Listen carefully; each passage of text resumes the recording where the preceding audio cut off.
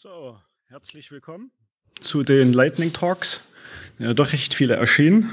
Und im ersten Lightning Talk geht es um das Heißeste, was es gerade im und aus dem Internet gibt. Cyber. Stimmt nicht ganz, weil fehlt noch ein Stückchen um das Cyber Forum. Kein neues Band, wo unten noch Forum dran steht. Ähm, hat auch nichts mit dem Cybern von gestern Abend zu tun, sondern na, es geht eigentlich um das Cyberforum. Und für die gut Vorbereiteten, es ist der EV in Karlsruhe und nicht das Programmierer- und Sysadmin Bulletin Board, was in Russland unter gleichem Namen läuft. Das Cyberforum EV wurde 1997 gegründet in Karlsruhe als Public-Private Partnerschaft. Ähm, und das ist ungefähr zehn Jahre nachdem William Gibson sein Buch Neuromancer rausgebracht hat, wo der Begriff Cyberspace quasi das erste Mal wirklich auftauchte. Und damals, 97, war Cyber immer noch die Abkürzung für Cyberspace und war total angesagt und äh, wurde noch nicht auf Absperrbänder und Aufkleber gedruckt. Wer das Buch nicht kennt, unbedingt lesen. Gründungsmitglied war übrigens der Friedrich Georg Köpfner, genau der vom Bier. Und ähm, das ging dann auch ganz schnell, sehr steil erfolgreich los. 2000 schon die ersten 500 äh, Mitglieder. 2004 gab es den ersten Cyber Champion Award. Also es gibt noch mehr mit Cyber. Ähm, es gab die Cyber Forum Service GmbH, weil der Betrieb einfach viel größer wurde. Das Cyber Lab entstand. Das Cyber Lab ist so eine Art ähm, Accelerator, Inkubator mit einer aber deutlich größerem und breiterem Angebot, als wie man das ähm, heute so kennt. Und bis zum Tag heute sind aus diesem Cyberlab ungefähr 199 Arbeitsplätze schon daraus entstanden. 2015 wurde dann eine Geschäftsstelle in Baden-Baden eröffnet.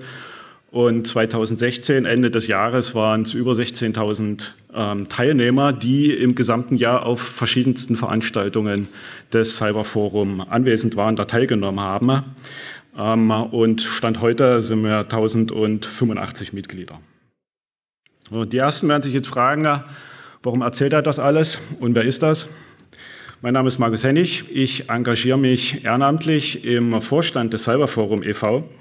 Und ich bin überzeugt durch die Lokalität vom Entropia und vom Cyberforum, dass es ähm, eine Schnittmenge gibt zwischen beiden Vereinen, was die Interessen und die Angebote angeht. Der Entropia mit seiner Gulasch-Programmiernacht ist ein wichtiger Standortfaktor, wie das so schön heißt, für Karlsruhe mit einer großen Anziehungskraft, ob man das jetzt hier will oder auch nicht. Und ich glaube, dass ein ganz einfacher Austausch zwischen beiden Vereinen sehr befruchtend sein kann und ähm, kann mir auch durchaus vorstellen, dass unter den Besuchern der GPN es einige gibt, für die das Angebot des Cyberforums durchaus interessant ist. Ähm, und die, ähm, das große Auditorium scheint ja dafür zu sprechen. Erstmal ein grundsätzlicher Blick auf ähm, die beiden Vereine und da bietet sich ja an, in die Satzung zu gucken. Das heißt, wie definieren sie sich selber? Was ist das Selbstverständnis? Ähm, und da sehen wir schon quasi ähm, links Cyberforum, rechts Entropia, dass der Zweck des Vereins ziemlich ähnlich formuliert ist ähm, und ähm, auf gar keinen Fall eine disjunkte Menge bildet, sondern ähm, es da durchaus Überlappungen gibt, wenn auch der Anspruch des Entropia deutlich weiter gefasst ist. Und wenn wir das mal hervorheben, um was es geht, ist es eigentlich Bildung und Aufklärung. Ähm, und ist der eigentliche Auftrag der beiden Vereine. Und wie da jetzt erfüllt werden soll, das wird dann beschrieben, wie dieser Satzungszweck verwirklicht wird. Und da wird es eigentlich interessant, wenn wir da reingucken. Das ist ziemlich länglich ähm, und es ist jetzt eine 1 zu 1 Kopie aus dem, was beide Vereine als ihre Satzung ausgeben. Und ich habe das bloß ein bisschen gekürzt, was in Klammern stand, damit es alles hier drauf passt. Und man soll sich auch nicht ablenken lassen davon, dass das beim Cyberforum quasi in einem langen Satz formuliert ist, den ich immer auseinandergezogen habe ähm, und dass das in der Entropia e.V. Ähm, deutlich ähm, breiter und strukturierter ähm, aufgeführt hat. Und auch hier einfach mal kurz in die Gemeinsamkeiten reingucken. Und da sehen wir auch wieder Bildungs-, Erfahrungsaustausch. Die Volks- und Berufsbildung haben wir eben schon zwei Folien weiter vorne gesehen beim Cyberforum. Da stehen sie sogar im Zweck des Vereins mit drin, explizit erwähnt. Und Forschung, Bildung haben wir nochmal explizit erwähnt. Ähm, also die Schnittmenge ist genau auf diesem Gebiet. Aber was man jetzt auch sehr schön sofort sieht, ist, wo die Unterschiede sind. Die Unterschiede sind ähm, in dem, für wen es ist und was eigentlich gemacht wird. Und das für wen ist klar, die Audienz, die potenziellen Mitglieder, die angesprochen werden sollen, sind ja schon sehr unterschiedlich. Beim Entropia e.V. kann man ganz einfach sagen, alle und jeder sollen angesprochen werden ähm, mit den Zielen des Vereins. Beim Cyberforum ist man da schon sehr, sehr speziell ähm, und pickt da genau nur eine ganz spezifische Submenge raus, nämlich die ein Unternehmen in der Hightech-Branche gründen wollen oder das schon gar gemacht haben.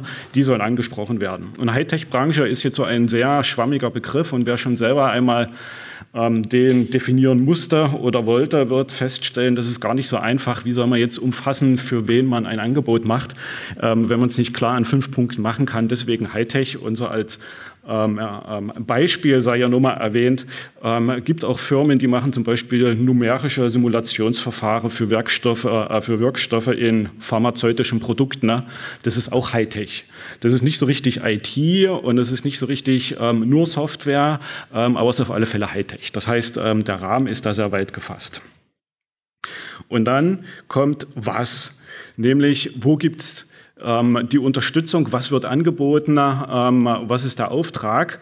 Und da ist hier ähm, in der Mitte beim Cyberforum ganz klar, es ist eben nicht das Hightech, um was es geht, sondern es ist das ringsrum, nämlich alles, was so nicht unbedingt die Kernkompetenzen eines neu gegründeten Unternehmens sind, so alles, was so Fragen sind mit Unternehmensentwicklung und Aufsetzen und legale Fragen und Finanzen und Steuern und, und so weiter. Ähm, das ist ja nicht das, was man quasi als Idee für ein Unternehmen mitbringt, sondern da hat man ja eine andere Kernkompetenz. Ähm, und da stellt sich das Cyberforum hin und sagt, da wollen wir unterstützen, da wollen wir Angebote aufstellen ähm, da ähm, sind wir für Ansprechpartner. Und um eins mal beispielsweise ähm, rauszusuchen, um klarzumachen, um was es da geht und, und an einem Punkt aufzuzeigen, ähm, hier ein Angebot, ähm, die Gründerberatung, ein Aushängeschild mehr oder weniger des Cyberforums, eine kostenlose Beratung. In 2016 haben das 295 Gründer wahrgenommen. Also das ist quasi mehr wie ähm, eine Beratung pro Arbeitstag ähm, im Jahr.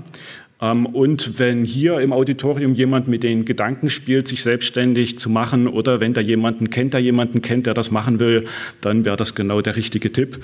Ähm, guck mal auf die Webseite von denen, da gibt es bestimmt jemanden, ähm, der euch helfen kann.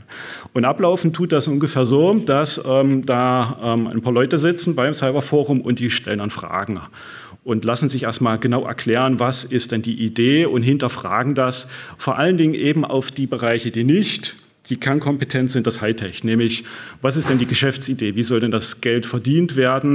Wie soll so eine Firma aussehen? Ähm, Gibt es denn schon einen Plan?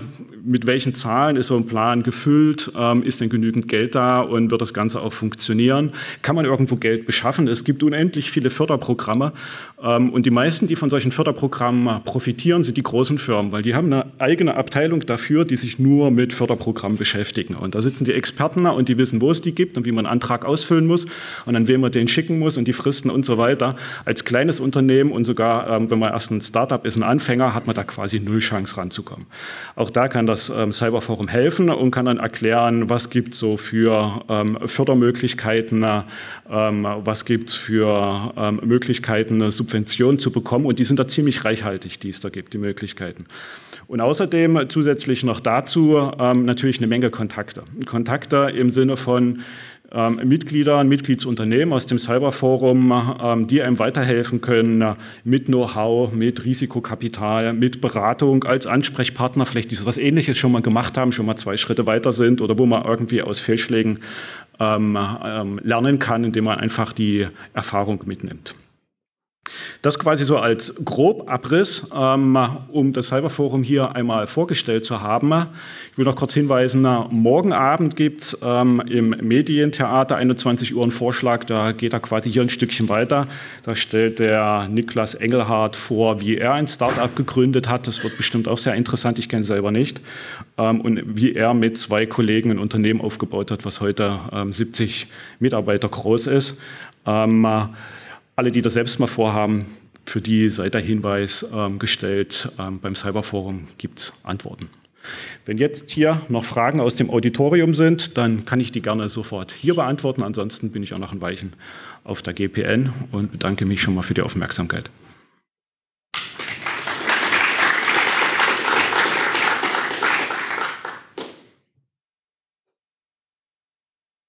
Keine? Bin auch nachher da. Dann darf der Nächste sein Lightning Talk halten.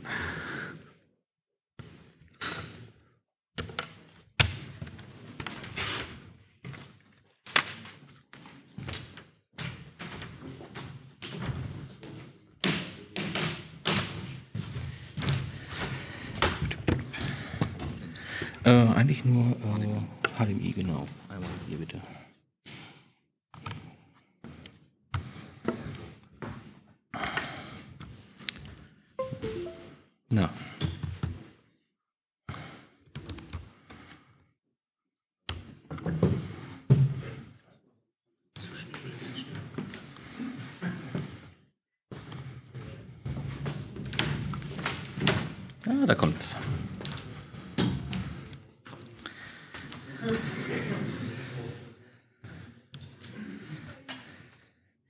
Ja, äh, willkommen. Ähm, ich bin der Löck, du bist der?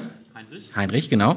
Ähm, wir haben uns, ähm, also wir sind vom Schnottegang in Neuss. Wir machen so ein jährliches äh, Event, das Goa, so ein ähm, äh, Outdoor-Hacken äh, an einem äh, Tag unter, an den, auf den Rheinwiesen. Und äh, da brauchen wir natürlich auch Chunk. Und vor, äh, am besten Slushy Chunk. Jetzt ähm, ist das, Proble das Problem, ähm, haben da nicht so viel Strom, so eine Slushy-Maschine hat nicht so viel Durchsatz ähm, und da haben wir uns einfach mal gedacht, was können wir denn da besser machen? Ähm, ein normaler Mixer war so das, was wir in den vorherigen Jahren immer gemacht haben. Sieht spektakulär aus, wie das Ganze dampft und rumspritzt und macht eine große Sauerei, kommen aber nur so zwei bis drei Becher raus und der Mixer erfriert. Ähm, deswegen, da musste was Besseres her. So, die Alternativen sind ja, echte Slushy-Maschine kostet aber einen Arsch für all Geld, braucht viel Strom, braucht auch lange Zeit und ist langweilig. Ähm, dann, was könnte man da so kleineres machen? Einfach ein Fass, Farbrührer, Trockeneis rein. Ja, muss aber jemand die ganze Zeit da rühren und braucht auch viel Strom und den haben wir da nicht. Ähm, also haben wir noch ein bisschen weiter gesucht und dann haben wir den Ebert 65L gefunden. Hat eine Auskippfunktion, mischt den Schunkschweiß frei, ist einfach zu reinigen, voll gut. Und er lässt sich mit Spiegeln bekleben. Ähm, ja, in der äh, Konstruktion ist einfach ähm, Betonmischer, bisschen Holzkreuz rein, damit man da das Fass draufsetzen kann, dass das auch nicht wegrutscht. Ähm, dann, das bietet auch noch ein bisschen Platz für einen LED-Ring, äh, ist als Spritzwasser geschützt. Ähm, im Impfass selber haben wir auch noch so ein paar Mischarme reingesetzt, dass dann alles schön durchgemischt wird. Ähm, und oben so einen kleinen Dichtungsring, damit das Fass nicht rausrutscht. Genau, der Heinrich führt das mal gerade vor. Ähm, und so sieht das Ganze dann aus in Aktion. Das ist noch vom diesjährigen Goa. Da ist noch der LED-Ring noch nicht drin. Ähm, ja, und so drei bis fünf Kilogramm Trockeneis später sieht man dann so schön, so, wie die ersten Brocken entstehen, wie das so, so eine Apfelmusartige Konsistenz kriegt. Und dann kann man das auch äh, schon fast abfüllen. Jetzt, es ist noch nicht hundertprozentig alles da. Es gibt auch noch ein paar belastende Sachen. Der Motor wird noch zu warm, ist ein ziemliches, äh, also ist halt günstig. Ähm, uns fehlt noch ein bisschen Sensorik, wie zum Beispiel, ist der Boden schon gefroren? Ähm, so, so Temperaturensensoren wollen wir noch einbauen. Ähm, das Rührweg ist auch noch, geht noch nicht ganz bis zum Boden, was wahrscheinlich auch ein Problem ist, dass am Boden so ein, großer Einsklumpen entsteht. Und ähm, er ist noch nicht über WLAN steuerbar. Das geht halt auch. Muss.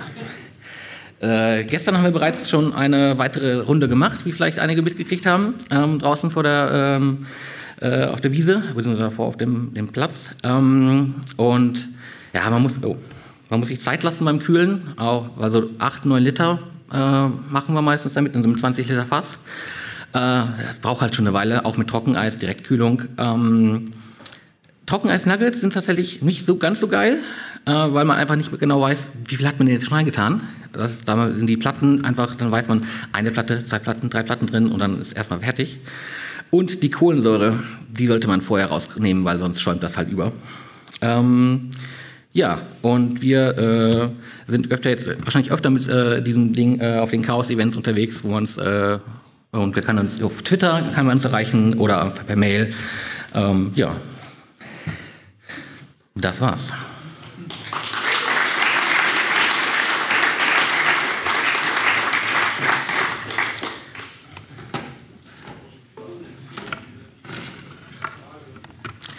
Frage? Gibt es eine Möglichkeit, jetzt zu probieren? Heute Abend.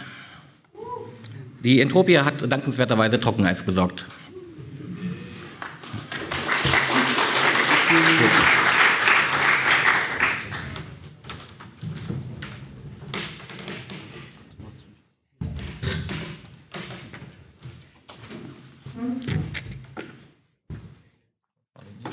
Jo.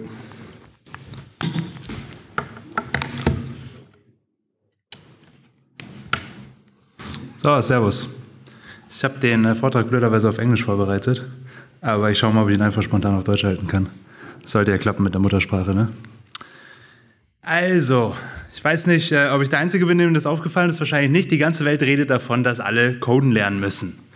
Ähm, ich mache das mal auf Vollbild. So. Kann ich auch per Hand blättern. Wenn ich hier stehe, verstehen mich auch alle, oder? Ah.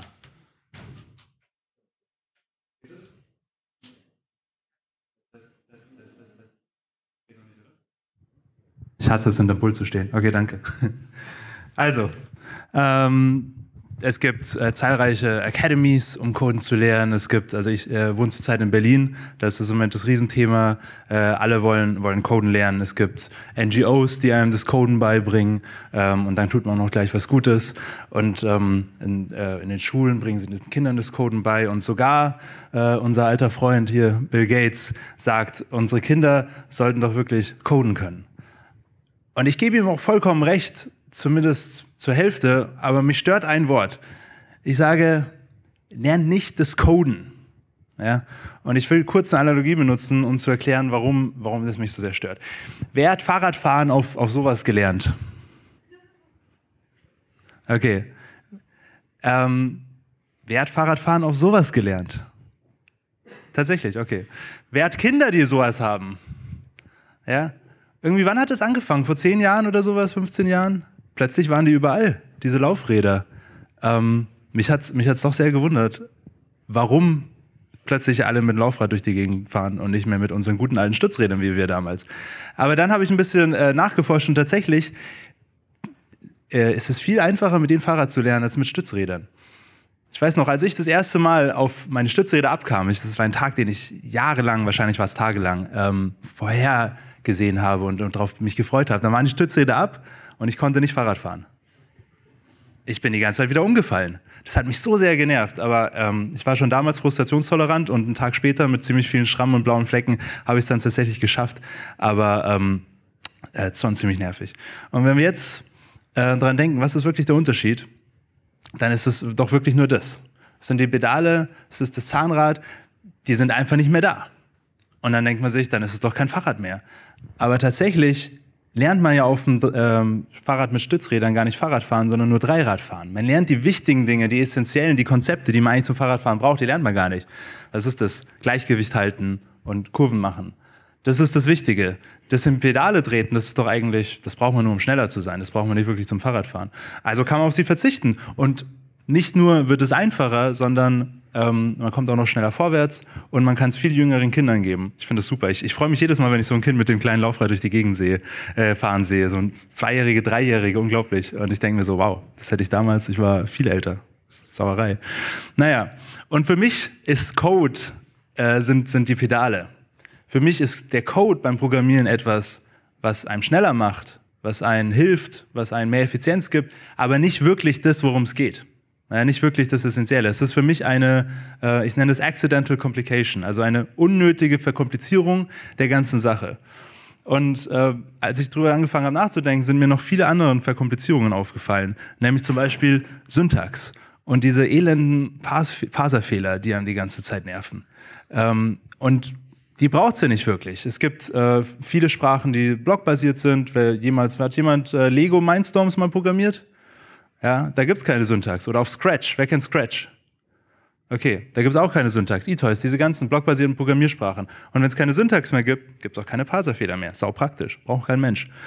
Dann Deployment. Wie fies ist das? Du hast deine erste Web-App geschrieben, aber keiner kann sie sehen, weil jetzt musst du erstmal lernen, wie du das Ding online bringst. Und vier, fünf Wochen später oder naja, Tage im Idealfall funktioniert das endlich. Aber eigentlich ist es doch unnötig, oder? Brauchen wir keinen. Dann gibt's noch äh, Restarting, dieses Ganze, ja, ich schreibe ein kompliziertes Programm, irgendwo funktioniert was nicht, ich muss es wieder neu starten, ich muss es immer wieder neu starten, immer wieder meinen alten Zustand herstellen, damit ich es äh, richtig debuggen kann. Man kann das, äh, man kann das verhindern. Zum Beispiel Smalltalk hat äh, Live Objects, also lebende Objekte, die man debuggen kann und den Code von denen ändern kann, während sie laufen. Man muss es nicht neu starten. Das ist unnötig. Das braucht man nicht. Was habe ich noch? Äh, genau, External Docs. Ich liebe es ja. Die meisten Programmierer heutzutage, schaffen gar nicht mehr ohne Internetverbindung zu programmieren, oder? Ohne, ohne oder fünf Minuten auf Stack Overflow irgendwie eine, eine Nachricht zu googeln. Wer kann noch offline programmieren? Ja, wir sollten stolz, wir werden immer weniger, also wir sollten die Tradition äh, fortwähren. Ich finde, es ist immer so ein bisschen eine Schande, wenn eine Programmiersprache einen dazu zwingt, äh, externe Dokumentation nachzuschauen, selbst wenn es die Dokumentation der Sprache ist selber. Ich finde, wenn wir äh, eine, wenn wir eine Programmierumgebung haben, dann können wir in die Programmierumgebung doch die Dokumentation reinbauen und dafür sorgen, dass uns die Sprache dabei hilft, äh, zu verstehen, womit wir hier reden und welche Kommandos wir benutzen können und was die tun. Und so brauchen wir dazu noch externe, tote, statische Dokumentation, wo man noch nicht mal Code ausführen kann. Brauchen wir noch nicht. Dann Dependency Management. Will jetzt gar nicht so drüber reden, aber ist eklig. Und natürlich Versionskontrolle. Git is your friend. Äh, Versionskontrolle habe ich gekillt, sorry, hielt ich, hielt ich nicht mehr für äh, notwendig. Aber wer jemals, also wer sich noch erinnern kann, als wir noch keine Versionskontrollsysteme hatten, ja, da haben wir alles per Hand gemacht. Da haben wir Version 01 und dann fast fertig und das ist diesmal die echte finale Version. Und ich habe einen Juristenkumpel, der macht es immer noch so mit seinen, mit seinen Verträgen und mit seinen Aufsätzen. Ja, der nennt es dann V1, V2, jetzt fertig, nee, jetzt wirklich fertig. Okay, jetzt nicht mehr anfassen, das ist die finale Version. 1, 2, 3, 4, 5, 6, 7. Ja. Ähm, und dann gibt's natürlich die ganze Manipulation, wenn wir Software schreiben. Wir, wir schieben immer nur Code durch die Gegend. Wir die Objekte, die wir benutzen, die, die, selbst die Fenster, die wir verschieben, wir können die nicht wirklich anfassen. Wir können nur Zahlen verändern meistens, es sei denn, wir haben irgendwelche aufwendigen, ähm, aufwendigen Tools. Aber es ist, die meiste Manipulation ist ja indirekt. Also das sind so diese, die Sachen, äh, ich habe da noch viel mehr gefunden, aber das sind so die wichtigsten, die mich irgendwie stören beim, beim, beim Programmieren. Und ich denke mir, das ist irgendwie alles Code. Ja, das sind alles nicht wirklich wichtige Dinge, auf die wir eigentlich äh, verzichten können. Deswegen sage ich, lern nicht zu coden, sondern man sollte den, den Leuten beibringen, oder ich möchte äh, lieber den Kindern beibringen, Software zu erstellen, miteinander zu teilen, zu verstehen, zu manipulieren, aber ohne Code. Ja? Ich will noch kurz, ich glaube, wir haben noch Zeit genug auf das Warum. Eigentlich sollte man immer mit dem Warum anfangen. Ne? Aber warum eigentlich? Warum ist das so wichtig? Naja, kein geringer Grund als die Erleuchtung, ja, oder auch die äh, wissenschaftliche Revolution genannt. So, wann war das? 1800 irgendwas, 1700 irgendwas, sowas? Ich meine, also das ist, es ist nie so einfach, aber ich meine, ohne äh, Alphabetismus, ohne Literacy hätte es nie eine wissenschaftliche Revolution gegeben. Und wie wir sehen, ist auch zufällig, geht die, also das ist der Analphabetismus in England, der zufällig fängt er um die 1500 an runterzugehen und bis 1900 ist er schon ziemlich echt äh, gering. Aber das ist genau dieser Zeitraum, genau dieser Zeitraum um, also im 18. Jahrhundert, als, als die wissenschaftliche Revolution so richtig an Schwung gewann. Und äh, warum, hat, äh, warum hat sich die Literacy äh, so vergrößert, weil es immer mehr Bücher gab und immer mehr Grund zu lesen und zu schreiben. Ja? Wenn wir uns anschauen, hier, das ist die Anzahl der Bücher, auch von 1740 bis 1870 auch wieder England. Ich habe irgendwie nur Statistiken aus England gefunden. Ähm, aber das ist, äh, plötzlich gab es viele, viele, viele Bücher. Warum gab es plötzlich so viele Bücher? Weil sie so billig wurden zu drucken. Ja? Wenn wir hier, das ist der, der Preis der Bücher, auch wieder von 1460 bis 1758, also ungefähr der gleiche Zeitraum. Plötzlich wurde es viel günstiger, Bücher zu drucken. Und warum? Na gut, wissen wir alle. Lieber Herr Gutenberg hat die äh, Druckerpresse erfunden und plötzlich war es viel günstiger wir haben ihm wirklich viel zu danken. Ähm, wie können wir das wiederholen? Ja? Das würde ich gerne, das gleiche würde ich gerne mit Computern machen.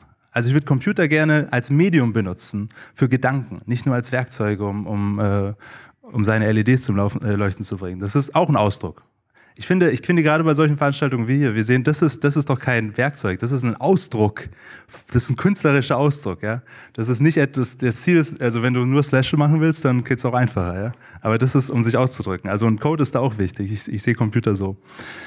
Warum waren überhaupt die Bücher so teuer? Ist wegen diesen Leuten, ja. Den, äh, den Scribes, also den Mönchen, die haben die Bücher alle per Hand geschrieben. Das ist natürlich sauteuer. Und wieso ist Software so teuer? Wegen diesen Leuten die Software wird genauso von einer geringen Anzahl von professionellen Softwareentwicklern geschrieben, wie im 14., 15. Jahrhundert äh, Bücher von professionellen, wenigen professionellen Bücherschreibern geschrieben wurde. Ja? Das heißt, ähm, wenn wir Software billiger machen wollen, dann müssen wir auf die Scribes, auf die, äh, auf die Schreiber verzichten. Wir müssen quasi die Pedale loswerden. Wir müssen die, die, ähm, die, Mechaniken äh, krass vereinfachen. Wie? Das Gutenberg war vor allem die Vervielfältigung, nicht das Verbinden von Text. Okay, also es war mehr die Vervielfältigung und die Vervielfältigung von Software sowieso schon umsonst.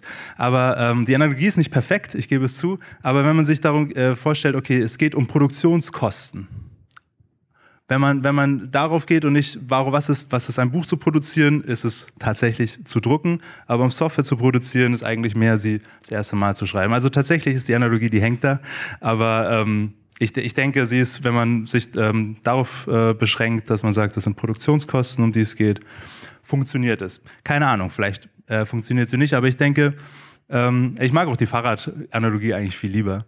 Ähm, ich denke, wenn wir es schaffen, die, die Pedale loszuwerden von unseren Software-Autorenprogrammen, ähm, also von den, von Softwareentwicklungsumgebungen, äh, und es schaffen, so ein Laufrad zu bauen, mit dem es viel einfacher ist, Software ähm, zu lernen und seine eigene Software zu schreiben, dann können wir die Kosten von Software enorm runterdrücken und wirklich demokratisieren. Wenn jeder Software schreiben kann, weil es so günstig ist, weil es keine Jahre braucht an Training, sondern weil es ein paar Wochen oder weil man es in der Schule lernt und es sowieso jeder kann. Irgendwie sowas in der Richtung. Und ja, jetzt wird es vielleicht ein bisschen größenwahnsinnig, aber ich denke, wenn wir so ein Laufrad haben für Software, dann haben wir günstigere Software und dann werden wir sehr viel mehr Software haben. Einige denken jetzt, oh mein Gott, noch mehr Software ist jetzt schon zu viel. Aber ähm, ich denke, da ist, da ist noch viel Platz nach oben. Und was wir dann haben könnten, ist sowas wie Software Literacy. Also dass ähm, eine, eine, eine, ähm, die Fähigkeit, sich fließend auszudrücken und fließend Ideen zu tauschen und zu verstehen in diesem Medium von Software. Und wer weiß, was das uns bringt, aber ich denke vielleicht sowas wie das, das nächste Enlightenment. Ähm, der nächste große Sprung in der kollaborativen, ähm, in der kollaborativen Intelligenz der Menschheit. Ähm, und wenn die Pedale Code sind, wie sieht dann so ein Laufrad aus? Und ich habe keine Ahnung. Das sind nur ein paar Gedanken, die ich mir mal gemacht habe. Und ich dachte, ähm, vielleicht findet sich hier jemand, der irgendwie sich auch schon mal darüber Gedanken gemacht hat oder sich denkt, ah ja, Syntax hasse ich genauso, ja, oder dieses, ja, dieses blöde Stack Overflow, wieso, wieso sind wir davon abhängig oder sowas, ja. Also das heißt, wenn, ähm, das ist quasi ein Projekt, woran ich zurzeit arbeite, das ist so mein, mein Hack-Projekt, was ich hier mitgebracht habe. Ähm, ich bin da echt noch ziemlich am Anfang. Ähm, und ich habe ja, keine Ahnung, wie es wirklich aussieht. Ich habe ein paar Ideen, ich habe ein, äh, ne, ein paar einen Prototypen, mit dem ich gerne rumspiele. Und ähm, genau, also wenn jemand sagt, okay, das klingt cool, dann bitte redet mit mir, ich bin der Typ im gelben T-Shirt. Außerdem findet ihr mich im Web äh, unter ertens.org. Und äh, ich merke gerade, es ist ja erst Punkt. Ich dachte, ich sollte jetzt schon fertig sein, aber es, ich, eigentlich sind wir jetzt eine Viertelstunde zu früh. Das heißt, wir haben noch Fragen, äh, Zeit für Fragen, wenn es jemand hat. Ansonsten vielen Dank fürs Zuhören schon mal.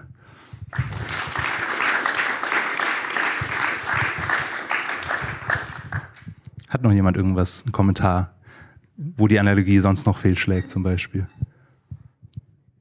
Okay, dann, ich hoffe, äh, ah ja, hier. Ich glaube, das Hauptproblem ist, dass, dass Software nicht in einem Vakuum existiert, sondern man hat halt schon was und man will das dann auf dieser Basis zum Laufen bringen. Und dann kommt man halt in diese ganze Komplexität rein, die du da aufgeführt hast. Wenn man es völlig neu bei Null anfangen würde, könnte man sicher einiges ja. irgendwie einfacher machen. Also ich meine, dass Software immer im existierenden System sich einbetten muss und mit den existierenden Systemen reden muss und das, da kommt Großteil der Komplexität her. Ich denke auf jeden Fall und deswegen äh, konzentriere ich mich auch zurzeit an diesen, an diese grüne, grüne Wiese von Menschen, die noch nie was von Computer, äh, einen Computer angefasst haben und das erste Mal quasi eine Programmiersprache lernen wollen und die haben dieses Problem tatsächlich nicht. Aber ja, das ist etwas, was ich auch ähm, denke, dass es äh, ein Großteil des, der Komplexität ausmacht. Ja. Ah, da ist noch was, ja. Ähm, ich glaube, die, die Adaption auf die lokalen Verhältnisse, egal ob das jetzt weil Software schon da ist oder weil das Problem ganz speziell ist, das ist heute, glaube ich, das, was du mit dem Sprite-Bild ein bisschen verdeutlicht hast. Genau, das Adaptieren von einer Software, die schon da ist, oder Bausteinen, die es schon gibt, zu einem spezifischen Problem. Standsoftware, oh, mein Problem ist doch immer anders, als wir gerade Das ist das, was heute die Sprite-Bild Ich glaube, da können wir viele. Ja. Jetzt ist es. Also das Kommentar ist das einfach, äh, ich versuche es mal zu interpretieren, ja, in, in, in meinem Modell. Das heißt, ähm, es, Software ist natürlich nicht nur schwer zu schreiben, weil die Tools schwierig sind, die wir haben, sondern auch, weil es eine intrinsische Komplexität hat meistens. Probleme sind schwierig. Es gibt schwierige Probleme, die sind schwierig zu lösen, egal mit welchen Werkzeugen. Geht das so ein bisschen in die Richtung? Okay. Ja.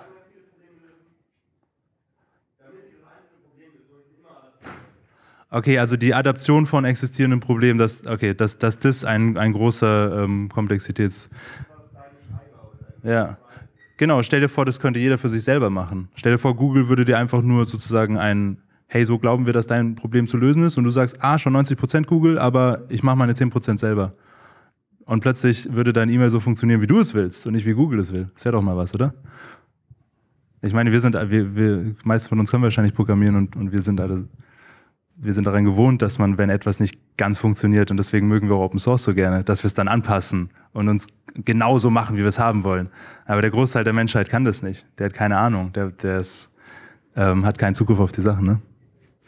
Okay. Sonst noch irgendwas? Okay. Tausend Dank nochmal und schön. Achso. Oh. ich Hört man mich? Sorry. Entschuldigung. Ähm, hört man mich damit auch? Okay, gut. Ähm, äh, ich denke, dass die Herausforderung beim Pro äh, die, die, der Grund, warum viele Leute sagen, dass man programmieren lernen sollte, nicht der ist, um äh, damit konkret Pro Probleme zu lösen, sondern dass der eigentliche Gedanke dahinter ist, diese Sachen, äh, die, die Probleme, die man hat, zu abstrahieren und dann zu verstehen, wo das Problem tatsächlich ist. Und dass es darum geht und deswegen man mit irgendwo damit anfängt dass man darauf mehr eingehen sollte. Ja, wir sind exakt deiner Meinung. Vielen Dank. Okay.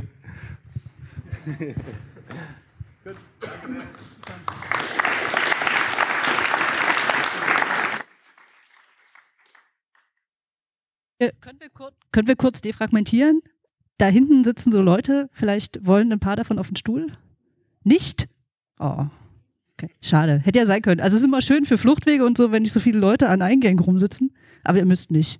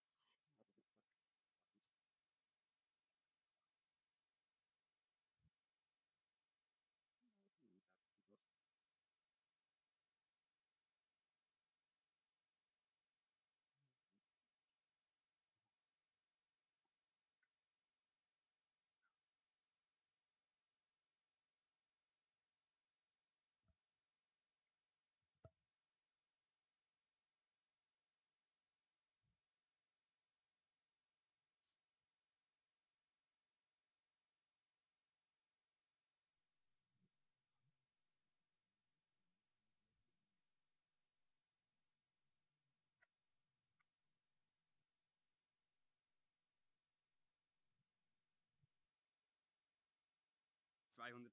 Ah, ähm, Hallo? Ah, ja. 200 Fenster werden im Hintergrund von Retina auf normale um Auflösung umgerendert. Das dauert halt eine Weile. ähm, wir sind hier, um ein Camp anzukündigen. Es geht um das CTCO. Ähm, hier sind ein paar Leute aus der äh, Orga. Ähm, sie werden mir ins Wort fallen, wenn ich etwas Falsches erzähle. Äh, kann ich. So, wunderbar. Und dann noch was Zweites. So. Sehr gut. Jetzt haben wir ein Bild. Folie 1. Es geht um das CTCO. Ähm, das steht für das Zeltlager für Technik- und Computerfreunde. Vielen Dank. Bald habe ich auch meine Notizen. Vielen Dank. Äh, so. Tut mir leid. Also, es geht um ein Camp in der Schweiz. Äh, vielleicht habt ihr auch schon die Plakate gesehen. Ähm, die sind unserem Marketingteam zu verdanken.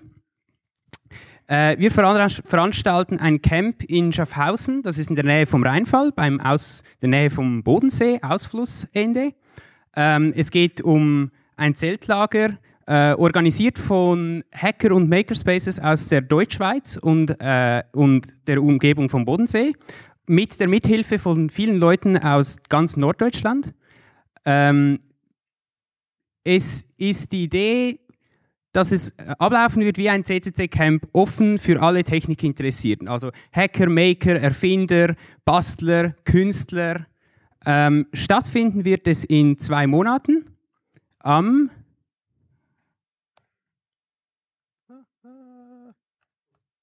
Ihr habt es schon gesehen, es ist ja auf der Folie. Ähm, 21. Juli bis äh, 24. Juli, also schon in zwei Monaten. Ähm, meldet euch bald an. Wir sind auf einem Feld in, äh, in der Nähe von Schaffhausen auf Uh, tut mir leid. ähm, auf dem Feld in, in Schaffhausen in der Nähe vom Rheinfall, auf der Rennbahn, in, äh, auf der Rennbahn Griesbach. Äh, ich versuche gerade noch eine etwas bessere Karte hervorzuholen. Geht das? Ja. Oh. ja. Ah, Tasten funktionieren. Sehr gut. Hier, wir sind jetzt Karlsruhe. Hier. Das Camp findet hier statt, also gleich über der deutschen Grenze. Zweieinhalb Stunden von hier. Sehr gut. Ähm, wir haben fließend Wasser, Strom, Internet. Es liegt eine Glasfaser irgendwo auf dem Feld. Es kommen 120, 125 Ampere aus dem Boden. Ähm, für Essen ist gesorgt. Äh, wir haben Platz für Zelte und Camper. Wir haben etwa einen halben Quadratkilometer, das, die eingerahmte, äh, das eingerahmte Feld. Ähm, meldet euch per E-Mail, wenn ihr Ideen habt, wie wir das nutzen können. Wir werden nicht alles äh, brauchen an der Fläche, längst nicht. Ähm, die Adresse steht im Wiki. Ähm, die Informationen sind dann am Ende nochmals. Ähm, wir haben eine Lounge, wir haben ein Hackcenter, wir haben Platz für Vorträge, für Workshops, vielleicht ein Bällebad, wenn das organisiert wird, vielleicht noch eine Lounge. Ähm, der Ticketverkauf ist offen. Bitte meldet euch bald an.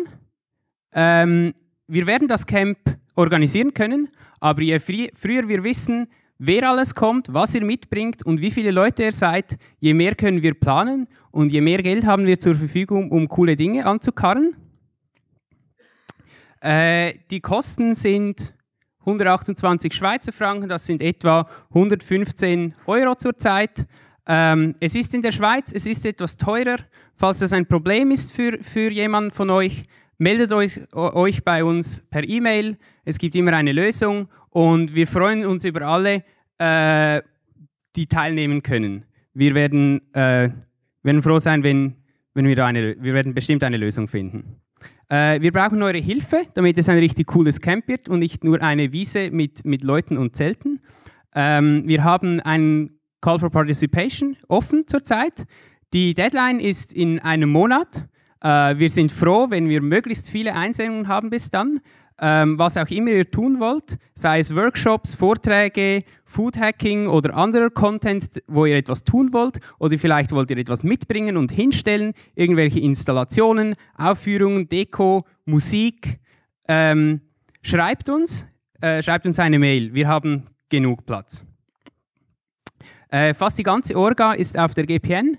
Ähm, die Namen sind, bei, äh, sind im Wiki, im GPN-Wiki bei den Lightning Talks aufgeführt. Ähm, nochmals, die, äh, die Deadline ist in einem Monat. Bitte meldet euch bald. Wir sind per Deck erreichbar. Vielen Dank. Gibt es noch Fragen?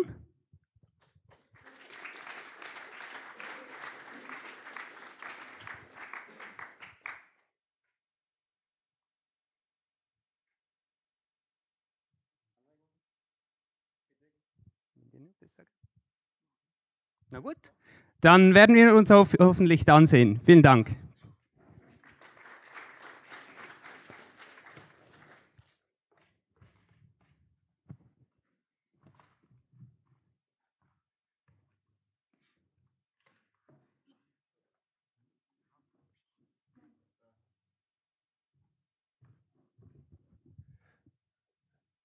I will talk in English.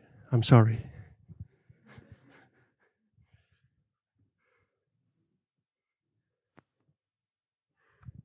So uh, when you're done with uh, Zeteco, uh, you can hop in your car, drive to the Netherlands, and go to SHA because they, they it's it's one big hacker trip.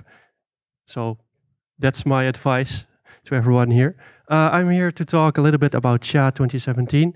It's a hacker camp that we're organizing now for a few years in the Netherlands. Um, and there's a few things I want to show you.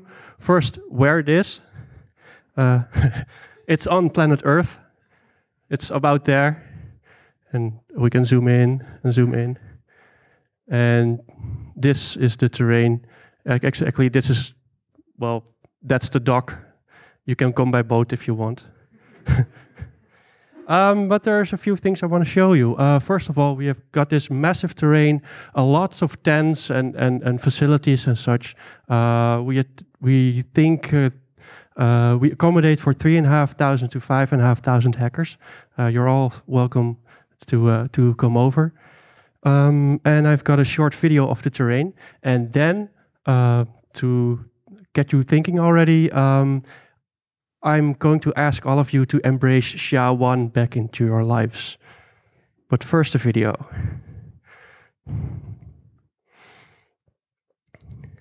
I hope the sound works. Nope. How does uh, how does one sound using a cable? Are you ready? wow. Does it work?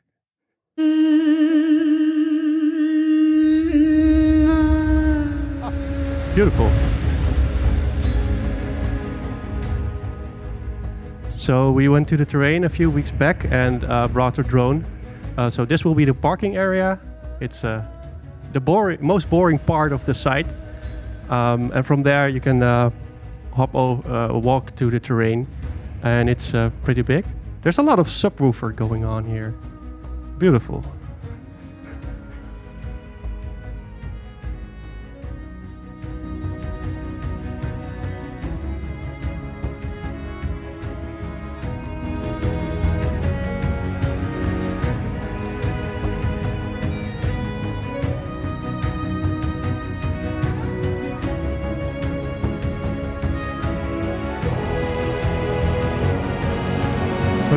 Big, and uh, we expect a lot of battles for the island on the top, on the bottom left.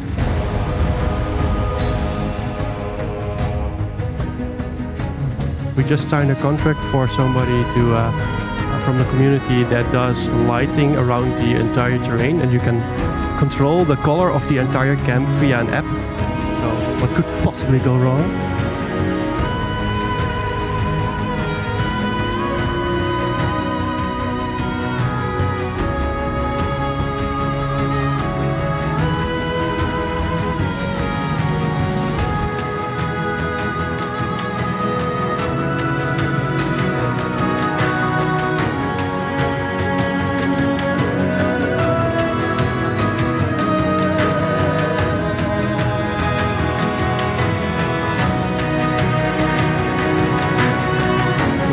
Also bought uh, 75 inflatable crocodiles to put in the lakes. Yeah, and this is all camping ground. Uh, there will be an arcade next to the lake in the middle.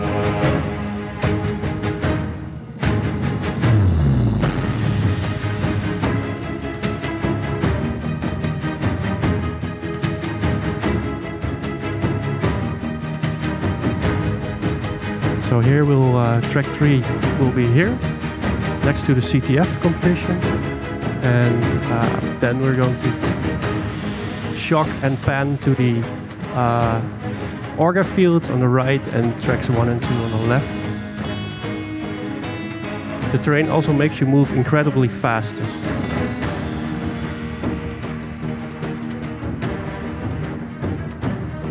So here will be heaven uh, and uh, a lot of facilities like uh, POC and uh, network deco.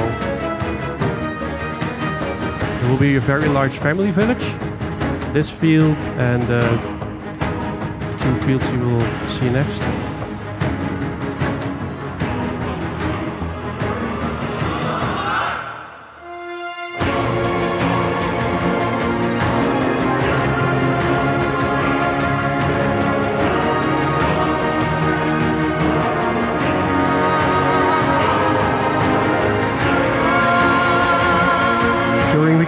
Have learned that if you have a drone, uh, you might uh, not uh, use your drone over water, especially if the software then crashes and the drone just stays put on the water. That's that, that's funny.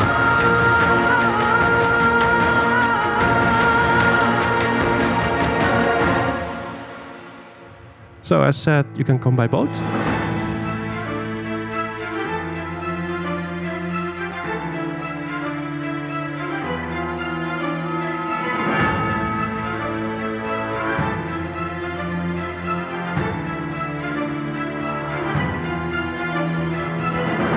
These are more the quieter fields.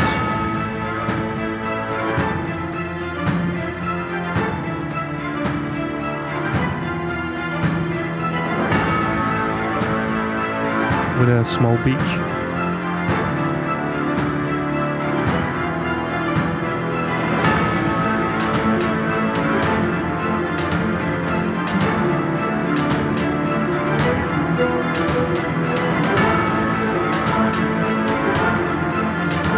Is where the drone software crashed, but the video is nice still.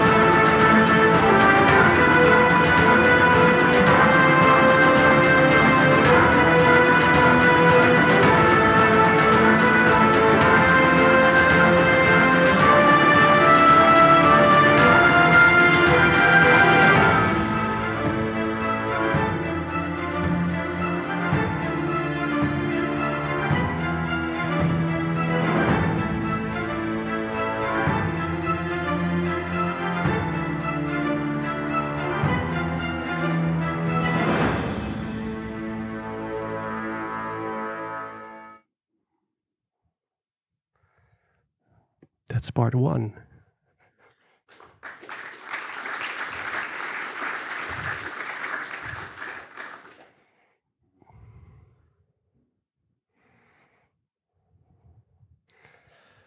Uh, the Shia camp has been uh, organized since uh, like uh, the camp is organized every four years, and we started in 1989. Uh, the last camp was OM 2013, which, uh, which doesn't.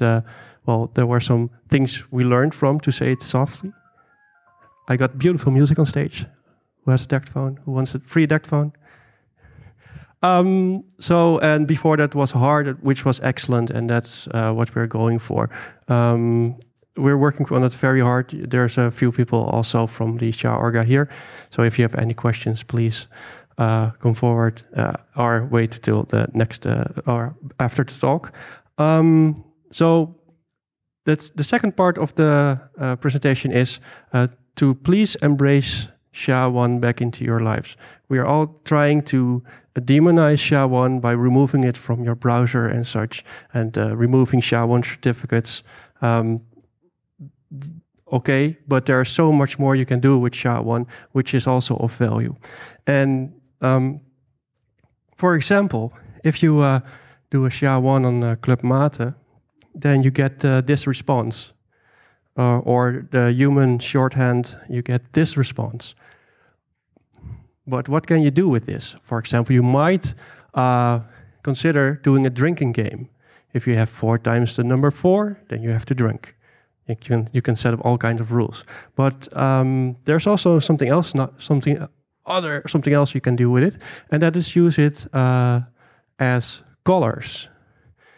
So, for example, like this.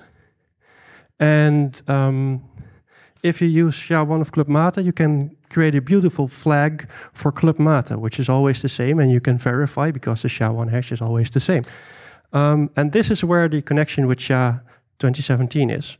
Um, SHA-1 is made for design, and we're using that in our design.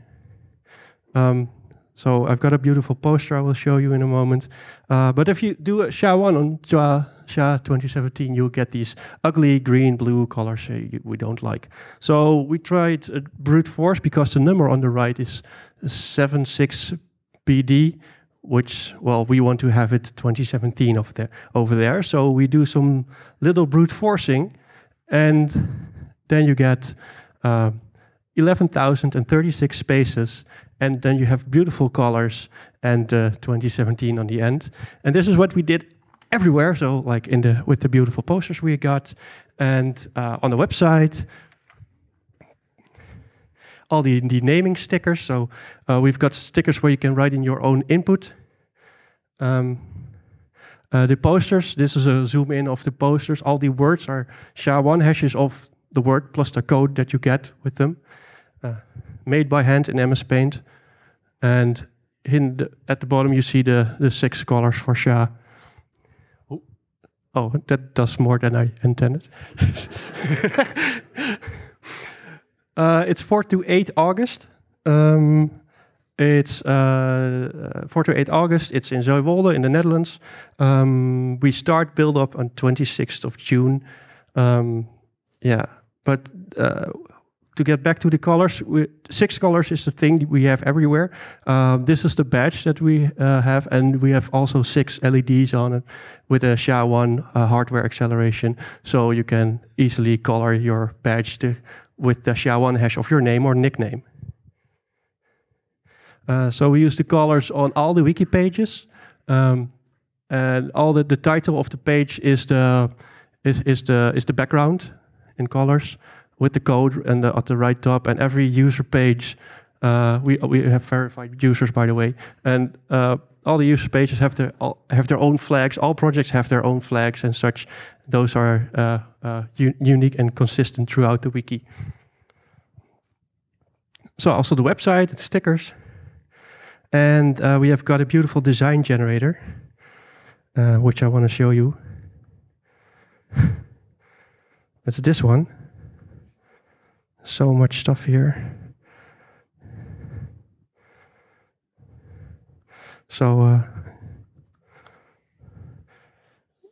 I've got a version ready for with the with the disco uh, button, so you can click in, so you can click a checkbox and it will do something like this on the BPM you want.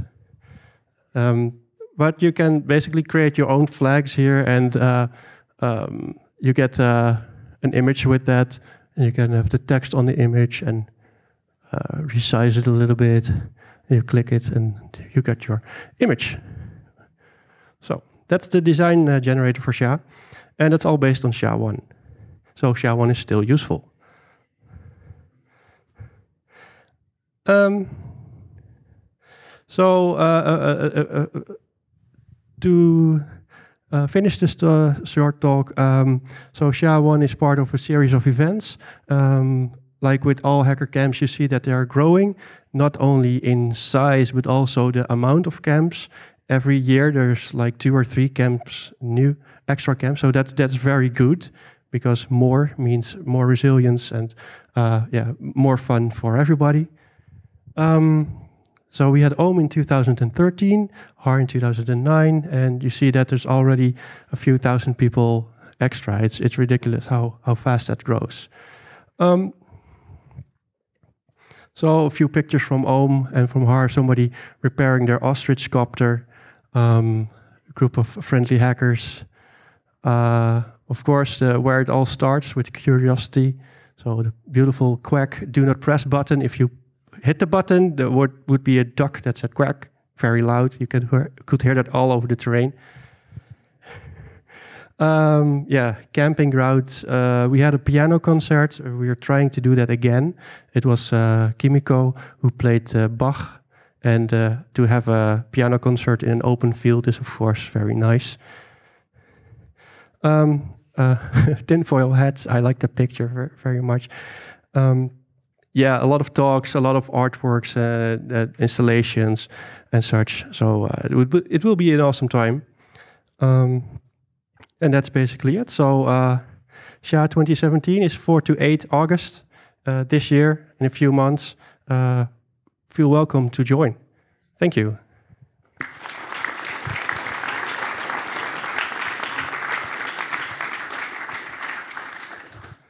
Any questions?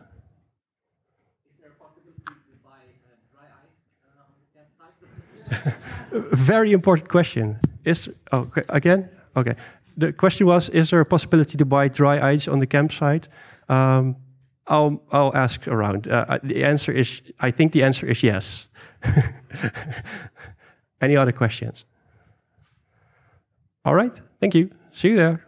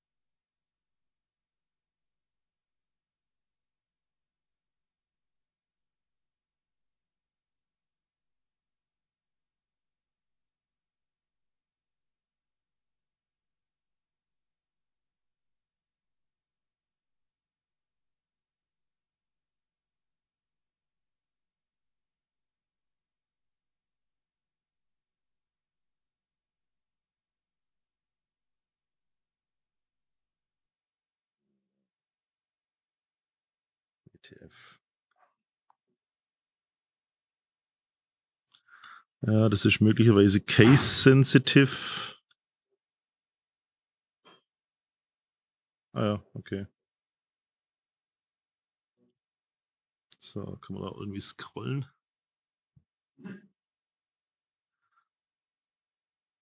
Wo ist Page Down bei Mac? Und Cursor? Tut nicht.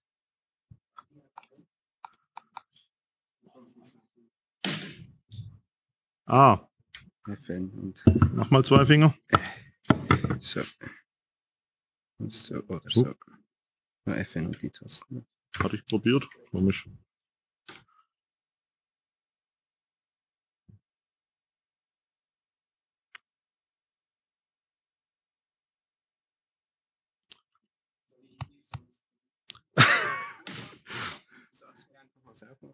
Ja, Moment. Je- Jetzt tut's komisch, aber es tut nur irgendwie nicht immer. Also ich bleib da stehen. Ja, bleibst mal da als Operator. ich benutze normalerweise keinen Mac. Okay, ähm, die Projekte sind nicht mehr ganz neu, aber ich hoffe mal, dass sie nicht, nicht schon jeder kennt. Ähm, sind zwei äh, Python-Projekte. Das eine nennt sich bpasty, äh, ist ein Paste-Bin, aber hat so seine Besonderheiten und das andere ist ein Dynn-DNS-Service in Python und Django programmiert, heißt NS-Update Info. Und die stelle ich jetzt mal ein bisschen vor. Äh, entstanden ist das Ganze im Stuttgarter Hackerspace, im Shackspace. Und da war mal so ein 48-Stunden-Programmierwettbewerb und da haben wir das so in zwei Teams einfach runtergehackt. Das war allerdings nur die initiale Version, also danach ist auch noch viel Arbeit reingesteckt worden. Aber so die erste Version hat quasi dann schon funktioniert irgendwie. Äh, der Gag an bpasty ist, es ist nicht so ein ganz normaler Pastebin, wo man einfach nur irgendwelchen Code reinpastet, sondern der kann halt im Prinzip alles. Also man kann da Code reinschmeißen, Text, Bilder, Audio, was auch immer. Also irgendwelche Binärformate gibt's kein Problem. Äh, Das Einfache ist quasi, wenn man Text reinschmeißt, dann macht er halt Highlighting, erkennt er automatisch an der Erweiterung halt. Wenn das Python ist, macht er halt Python Highlighting. Er macht auch vorne Zeilennummern ran und man kann auf jede einzelne Zeile verlinken. Also wenn man jemand auf eine bestimmte Zeile im Code verweisen will, kann man das leicht machen. Äh, Ich kann Images reinschmeißen, die üblichen Formate. SVG geht auch und wird dann praktisch im Browser gerendert. Äh, Also er macht von diesen Pastebins dann praktisch auch ein entsprechendes Preview. Audio-Video macht er halt das HTML5-Element dann draus, kann man also direkt aus dem Pastebin abspielen, wenn man will. Äh, Binaries geht alles, also ihr könnt auch ein ROM-Image oder irgendwie sowas hochladen. Theoretisch würde ja auch ein ISO-File gehen, allerdings gibt es da dann in der Regel Upload-Limits, dass das nicht zu viel reingeschüttet wird. Äh, bei Binaries gibt es kein Preview, die kann man dann halt einfach runterladen. Äh, so Multifile, Drag and Drop, so mit Browser aus dem File-Manager einfach reinschmeißen geht auch. Und auch ganz nett, der Server speichert sich beim Hochladen den Hash von dem Content. Also wenn ihr ihn runtergeladen habt, könnt ihr auch automatisch über ein Standard-Feature von diesem Pastebin dann kontrollieren, ob da alles noch in Ordnung ist, also ob es runterladen geklappt hat, beziehungsweise ob der vielleicht irgendwelche Bitfehler oder so gekriegt hat auf dem Server. Also wird beim Hochladen gemerkt, was der richtige Hash war. So ein bisschen Progress Indicator gibt's. Und im Endeffekt, was er kriegt, ist halt so eine Unique URL. Äh, die ist nicht allzu kurz, dass man sie erraten könnte, aber auch nicht allzu lang, dass man sie irgendwie nicht mehr jemand durchtelefonieren könnte. Das Zeug wird einfach im Filesystem gespeichert auf dem Server oder alternativ kann man auch ein Ceph ähm, Storage anbinden, wenn man das irgendwie redundant haben will. Äh, liegt auf GitHub, heißt bpasty. Und wenn ihr irgendwie mitentwickeln wollt, wenn irgendwas fehlt, äh, könnt ihr da dann einfach mitmachen. BSD-Lizenz, Python Flask, Bootstrap, also relativ einfach alles. Ähm, ich glaube, ich mache die Demo am Schluss, dann muss ich weniger hier rum und umschalten. Äh, das andere, was ich kurz erzählen wollte, ist NS Update Info. Ihr kennt ja so Services äh, wie DynDNS.org hieß es früher oder dyn.com in letzter Zeit oder NoIP oder wie sie alle heißen, gibt es ja ziemlich viele. Äh, wir haben das damals auch innerhalb von diesem Wettbewerb entwickelt Und damals war so die Situation ein bisschen, dass eigentlich die existierenden Services alles ein bisschen so nervig waren. Also entweder sie wollten, dass man sich einmal im Monat einloggt oder sie haben einen irgendwie voll gespammt oder sie wollten einen nur einen Host anlegen lassen, ab dem zweiten muss man dann zahlen, also war alles irgendwie so ein bisschen suboptimal. Und deshalb haben wir halt einfach gesagt, wir machen das mal selber und mit Django und Python, also auch hübsch und als freie Software. Und ja, wie gesagt, das war so der Grund ein bisschen. Äh, danach kam dann auch noch, dass manche Services halt auf einmal so komplett kommerziell geworden sind, dass also gar nichts mehr umsonst gab. Oder manche waren auch ab und zu mal so ein bisschen offline aus irgendwelchen Gründen. Und deshalb haben wir das halt gemacht. Äh, auch auf die Privatsphäre wird etwas geachtet. Also wir machen nicht irgendwie Google Analytics oder sonst irgendwelchen Kram. Also das ist so richtig schön clean. Und wir verkaufen auch die Daten irgendwie nicht weiter. Und wenn ihr selber hosten wollt, es ist freie Software, ihr könnt es also auf dem eigenen Server installieren. Das ist eigentlich sehr flexibel. Ähm, zur Kompatibilität, also zur einen Seite verwendet er halt das normale DynDNS2-Protokoll, das ist ja so ein bisschen spezifiziert. Ist nicht so super genau die Spezifikation, aber man kann so damit arbeiten. Und das ist das, was üblicherweise in den Routern halt äh, eingebaut ist. Oder wenn ihr DD Client unter Linux einfach apt-get install DD Client macht, dann habt ihr also ein Update-Programm, wo mit diesem Service kompatibel ist. Äh, bei den Routern muss man allerdings dazu sagen, manche Routerhersteller sind so nett, die wollen euch zwingen, dass ihr einen oder zwei oder drei ganz bestimmte Anbieter benutzt. Also wenn es nur fest kodierte äh, Einträge gibt und keinen Custom-Eintrag, dann habt ihr ein Problem, weil dann könnt ihr halt nur diese kommerziellen Services benutzen. Ähm, über Browser übrigens kann man auch Updates schicken. Wir haben einen kleinen JavaScript-basierten Updater eingebaut auf der Seite. Also man kann im Prinzip einfach jemanden einen Link schicken, wenn er da draufklickt und seinen Browser offen lässt, macht er die ganze Zeit dann nach Bedarf halt dünn DNS-Updates. Die andere Seite, also das Backend, äh, ist ganz normal RFC 2136, also dynamische Updates, so wie sie ein Bind Nameserver erwartet. Und der Nameserver kann also entweder unserer sein, also diese NS-Update-Info-Domain, oder das kann auch euer Nameserver sein. Wenn ihr also Kontrolle über Nameserver habt und den passend konfigurieren könnt, könnt ihr den so einstellen, dass er Updates von diesem Service akzeptiert. Und dann habt ihr quasi ein Gateway, wo euer Router dann sich mit eurem Nameserver unterhalten kann. Auch wenn der Router jetzt nicht direkt mit einem Bind reden könnte. Also einfach so eine Art Gateway-Protokoll-Konverter. Ähm, ja, so ein paar spezielle Sachen noch. Äh, IPv6-Support ist klar, haben wir damals schon eingebaut und wir haben im Prinzip alles sehr symmetrisch programmiert. Also alles, was das Ding V4-mäßig kann, kann es auch irgendwie V6-mäßig und umgekehrt. Abgesehen halt von so ein paar Spezialitäten, was nur mit V6 geht. Zum Beispiel, dass ihr mit einem einzigen Update euer komplettes Netzwerk updatet. Also wenn sich quasi nur euer Präfix ändert und alles andere bleibt gleich, weil es halt diese äh, konstanten Suffixe sind. Braucht nur ein Update schicken, dass der neue Präfix bekannt ist. Und der Service tut dann die kompletten Einträge dafür im Nameserver auf einen Schlag updaten. Ihr könnt auch das Ding als Relay benutzen. Wenn ihr also jetzt zum Beispiel bei Hurricane Electric so einen IPv6-Tunnel benutzt, die wollen ja ein dynamisches Update geschickt kriegen, um den Tunnelendpunkt äh, abzudaten. Und wenn ihr jetzt einen Router habt, der halt nur eins schicken kann, dann habt ihr halt die Qual der, der Wahl, wo schicke ich das Update jetzt hin. Wenn ihr es dahin schickt, könnt ihr dort in der Tabelle weitere Services eintragen und das ist wie eine Art Relay, wo dann einfach ein Update auch weiterschickt an die anderen Services oder auch äh, mehrere. Ihr könnt im Prinzip so viele Hosts eintragen, wie ihr wollt. Es gibt also kein Limit irgendwie, dass es ab so und so viele Hosts irgendwas kostet. Äh, das Einzige, was natürlich nicht gern gesehen ist, ist, wenn ihr das Ding irgendwie voll spammt mit irgendeinem Schrott. Ja. Also ich habe schon Leute rausgeschmissen, wo ich halt gemerkt habe, die wollten nur Linkfarmen bauen mit irgendeinem Mist. Ja. Die, also die habe ich wieder gekillt, aber ansonsten gibt es eigentlich kein Limit, wenn ihr irgendwas äh, Sinnvolles damit tut.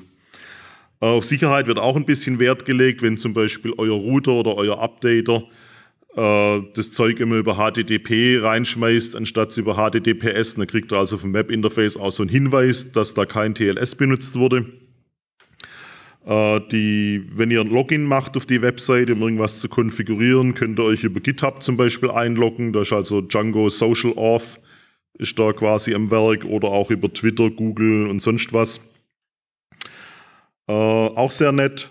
Wenn ihr einen Host konfiguriert, geht super easy, nicht mal eine Minute, dann habt ihr einen neuen dynamischen Host und am Schluss kriegt ihr eine fertige Config, die ihr mit Copy and Paste einfach zu dd client conf pasten könnt und das Ding tut sofort. Also ihr müsst nicht von Hand irgendwo noch ein Passwort nachtragen oder so. Das steht alles in diesem Config-Template schon fertig drin. Und es gibt auch Doku für das Ganze. Äh, das obere NS-Update Info, das ist die produktive Instanz, läuft auf äh, meinem Server. Äh, auf GitHub liegt das Softwareprojekt dazu. Wenn ihr mitwachen wollt, seid ihr auch gerne eingeladen. Django, Bootstrap, Python, so diese Geschichte. Äh, ich mache mal jetzt die Demos. Äh, wenn ich da wieder rauskomme, Escape macht irgendwas. Ja. Äh, einfach mal zu, gehen wir. Ah ja, jetzt reagiert er auch schneller. Vorhin war er irgendwie etwas träge. Also so sieht es dann aus. Ihr habt auch gerade gesehen, der hat gerade einfach mal die IP, wo wir herkommen, angezeigt. Also ihr könnt es auch anstatt wie ist meine IP.de und ähnlichen Services verwenden. Oder wenn ihr irgendwelche Bekannten oder Kunden am Telefon habt, einfach da hinschicken und sagen, lies mir mal die große Zahl vor. Ähm, drunter auch IPv6 und wenn es klappt, macht er auch ein Reverse Lookup und zeigt euch den Reverse DNS auch noch gleich mit an. Ähm, ach so, shit, jetzt müsste ich mich einloggen. äh, das geht jetzt natürlich hier nicht.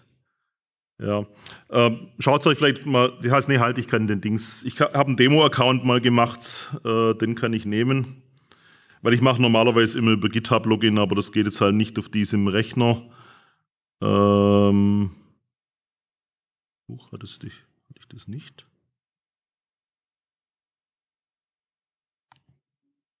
Ach nee, hier sind wir. Test, Test, ja, hätte mich merken können. Also, äh, der Account wird übrigens jede Nacht gekillt, also da natürlich nichts Produktives drauf machen, der ist wirklich nur zum Spielen. Ähm, also da läuft ein Cronjob, der das einmal die Nacht um die Ecke bringt. So, so sieht es dann aus. Ich mache mal das Bild ein bisschen größer. Steuerung plus, oder? Command plus. Ah ja, okay, klappt. So, äh, ja, dann die normale Benutzung. Wichtig, nicht auf Domain klicken, es sei denn, ihr wollt es wirklich. Also das, was ihr normalerweise braucht für 0815-Anwendungen, ist ein Host hinzufügen. Eine Domain ist der Fall, wenn ihr einen eigenen Bind installiert habt und den updaten wollt. Ja. Also das obere ist die, die übliche Funktion, was man so benutzt. Und einfach Add Host klicken, kurz irgendeinen Name ausdenken. Da könnt ihr euch zwischen zwei Domains irgendwas Hübsches raussuchen. Ihr könnt auch da eigene Domains beitragen, falls irgendwas Nerdiges fehlt. Einfach da registrieren, dann kann man die auch auswählen. Ihr könnt also selber entscheiden, ob die Domain, die ihr da gerade reingestellt habt, quasi public oder nur für euch selber ist. Da kann man irgendeinen Kommentar eingeben, Create klicken und das war's. Das seht ihr Host Added, Secret Created. Ihr müsst euch also auch kein Passwort ausdenken, weil wir wissen genau, ausgedachte Passwörter sind meistens ein Problem. Er hat da einfach mal selber kurz eins generiert, einfach random. Und wenn ihr jetzt zum Beispiel einen Linux-Server habt und den erreichen wollt, dann geht ihr einfach hier auf die Lasche DD Client und dann könnt ihr einfach diese Config copy und pasten. Da steht das Passwort fertig drin, das tut einfach so. Vielleicht einmal noch Service DD Client Restart oder sowas äh, und schon macht das Ding Updates. DD Client läuft übrigens auch sehr stabil. Wenn ihr so irgendwas an normalen Routern habt, gibt es hier auch die Anleitung für die Fritzbox oder für ein DDWRT oder INADYN, das ist so ein anderer ähm, kommandozeilenbasierter Updater, IP-Fire Firewall, OpenWRT, PFSense. Und das, wo Browser dran steht, das ist das, was ich vorhin schon erwähnt habe. Das ist vor allem so der Anwendungsfall, ich habe irgendjemand per Mail dran und ich will dem einfach irgendwas schicken, ohne dass der jetzt bei sich erstmal einen Updater installieren muss. Dann kann ich ihm einfach diesen Link hier schicken. Und dann läuft in seinem Browser, wenn er dort draufklickt, dieser Updater in JavaScript und guckt einfach, hat sich die IP geändert. Wenn sie sich geändert hat, schickt er ein Update. Und solange das Browserfenster offen ist, stimmt dann mein DNS-Host und ist aktuell. Jo, ich glaube, das war so im Großen und Ganzen für NS-Update. Äh, hier so ein bisschen Blabla noch. Also ich denke mal, euch wird es nicht betreffen, aber die einzigen Bedingungen, die gestellt werden, ist hier, was unter Fair Use steht. Ansonsten alles ziemlich frei und umsonst. Äh, läuft seit gefühlt drei, vier Jahren durchgehend. Und ich habe auch nicht vor, das irgendwie morgen zuzumachen oder so. Also so viel zum dynamischen Update, äh, zum NS-Update. Sind speziell dazu Fragen? Ich könnte vielleicht noch bei einem Host ähm, noch zeigen. Moment, irgendwie hat es mich gerade wieder ausgelockt. Da kommt gerade irgendwie noch Fosdem.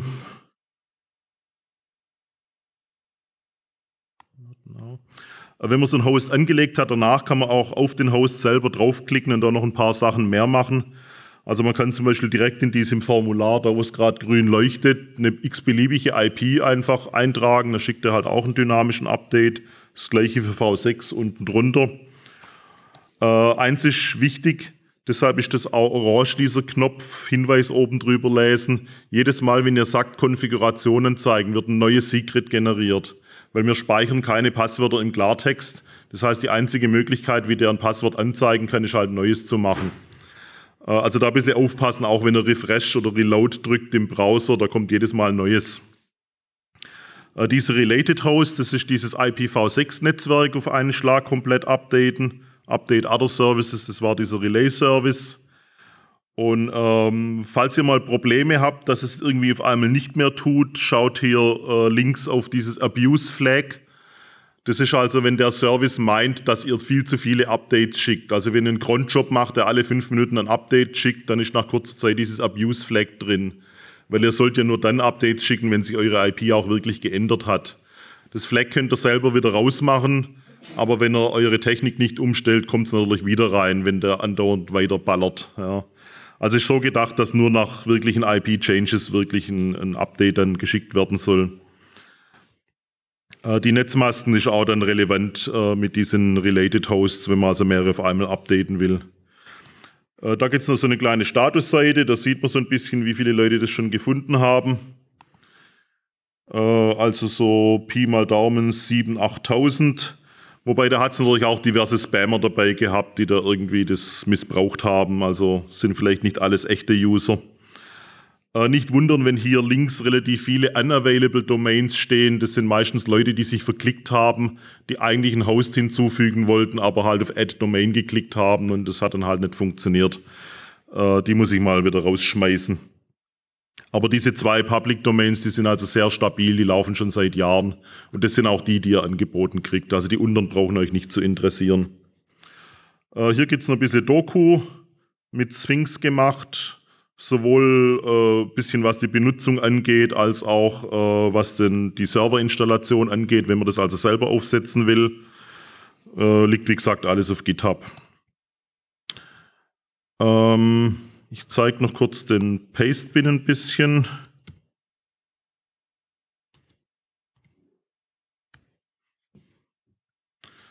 Ähm, das ist dieses B-Pasty. Und solange man da nicht angemeldet ist, äh, sieht es relativ langweilig aus. Also man kann auch hier nur auf Doku klicken und den Blabla lesen. Äh, interessant wird es, wenn man sich hier anmeldet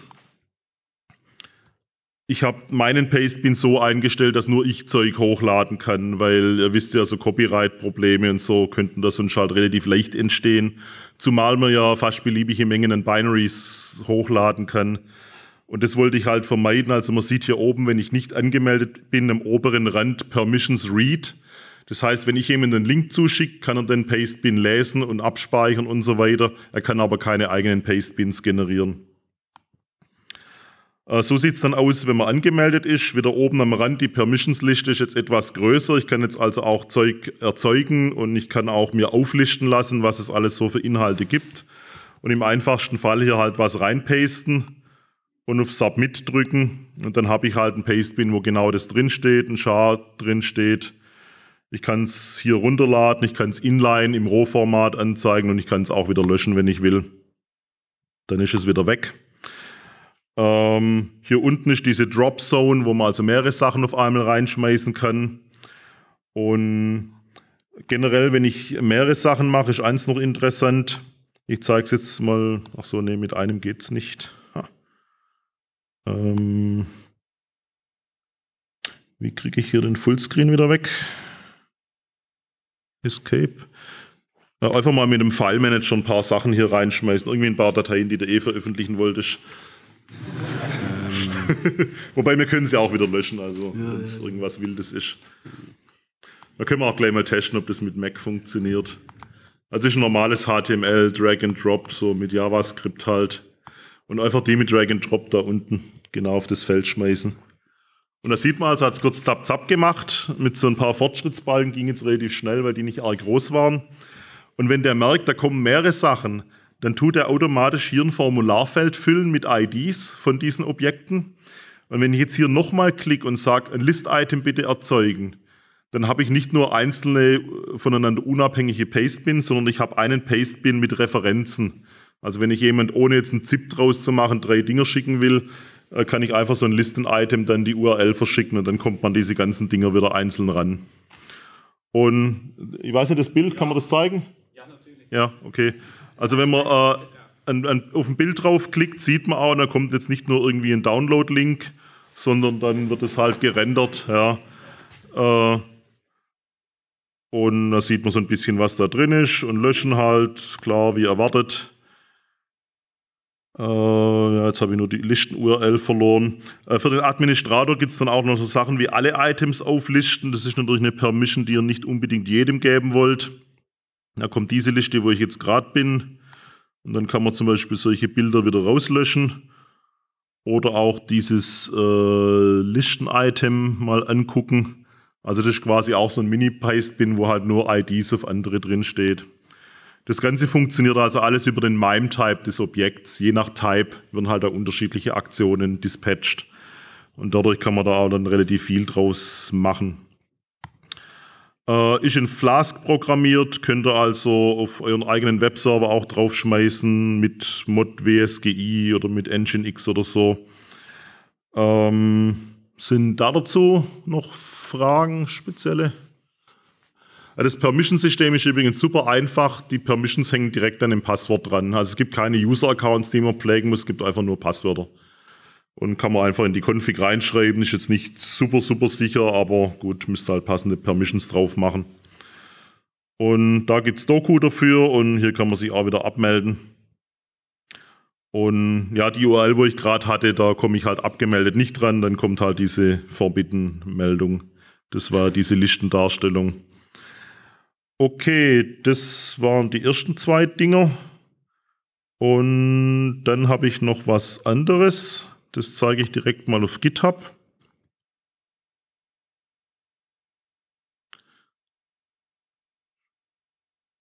Ja, halt.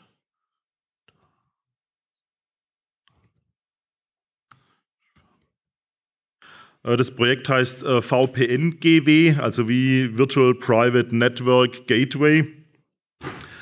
Äh, das Projekt besteht größtenteils aus Doku und aus Beispiel-Configs. Also das ist jetzt kein Softwareprojekt im engeren Sinne, sondern eigentlich mehr so eine etwas aufwendigere Konfiguration.